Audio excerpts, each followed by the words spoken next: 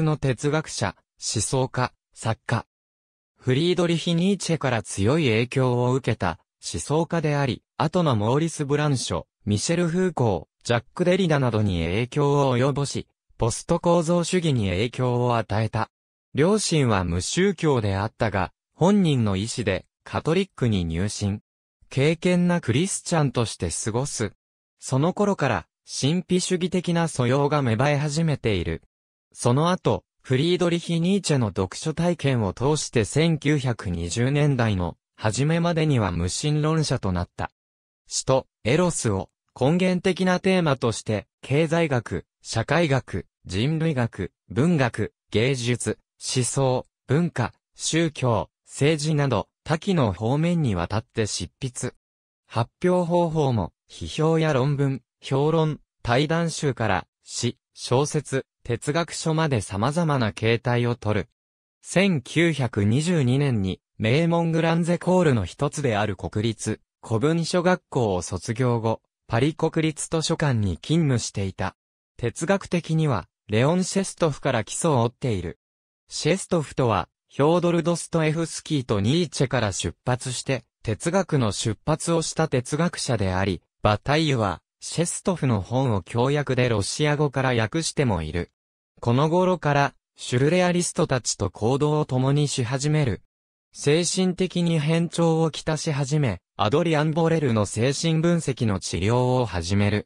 一年で打ち切られるが、ボレルがバタイユに書くように励まし勇気づけたことで、その結果、眼球炭という作品が生まれる。1929年から雑誌、ドキュマンの編集に携わり、グラビアを交えながら様々な論を展開する。アレクサンドル・コジェーブのヘーゲルに関する講義に衝撃を受け、打ちのめされる。労働を主名義で発表された、諸女作、眼球炭をはじめとして、トロップマン、ルイ30世、ピエール・アンジェリック等の様々な筆名を使ったことでも有名。バタイユには、主として3つの作品群が存在する。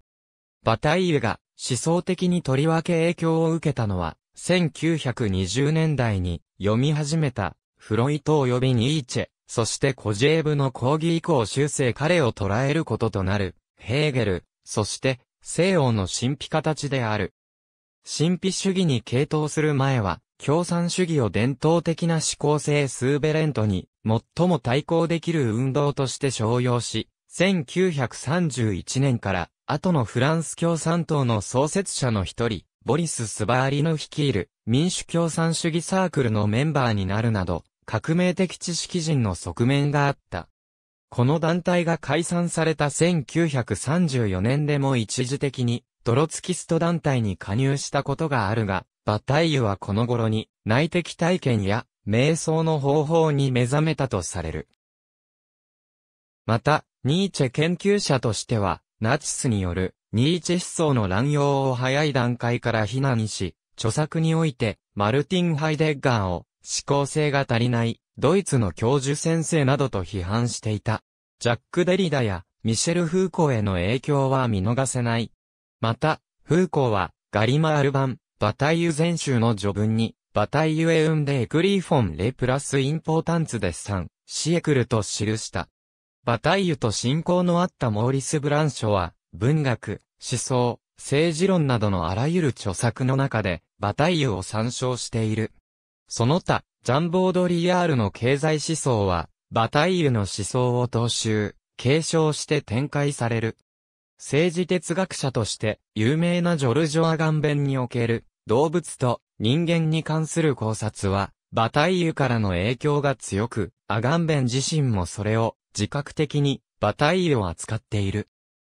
詳しくは、ミシェル・シュリア、ジー・バタイユ伝、上下1920年代に書かれた著作、論考、文学作品、1930年代に書かれた著作、論考、文学作品、1940年代に書かれた著作、論考、文学作品、1950年代に書かれた著作、論考、文学作品、1960年代に書かれた著作、論考、文学作品。1950年代から役所観光が始まり、小悪の夜、エロティシズム、文学と悪などが出版され、再刊もあり、読まれ続けている。著名な、眼球炭と、マダム・エドワルダは、1967年に、初めて役所が出版。1969年から1973年にかけ、二見書房で、ジョルジュ・バタイユ著作集、全15巻が刊行した。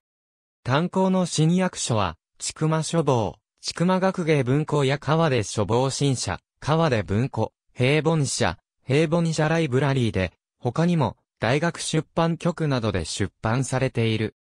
ウーブルコンプレッツ、A と、ノートパール L エディター、P563、バタイユとシェストフの関係については、G バタイユ伝、西谷治、中澤新一、川竹秀勝役、川出処方新社、1991、ピアニッシモ、78から86ジョルジュ・バタイユ、自伝ノート西谷治役バタイユが、ヘーゲルを語る場合、主として、コジェーブのヘーゲルである。コジェーブのヘーゲル解釈は、バタイユのみならず、ジャック・ラカンにも影響が認められている。フランスにおける、ヘーゲル需要については、以下を参照すべし。西山雄二、欲望と不安の系譜学、現代フランスにおける、精神分析学の需要と展開日本語訳としては、二見書房の馬体優著作集に書集されている。ちくま学芸文庫、中山元明、呪われた、部分有用性の限界は、呪われた部分を作るための走行群である。ベンヤミン、パサージュ論同様未完成の仕事。ジャック・デリダ、エクリチュールと、サイ、法政大学出版局。ミシェル・フーコー、外の思考、ブランショバタイユ・クロソースキ、豊崎光一役、朝日出版社、1978年。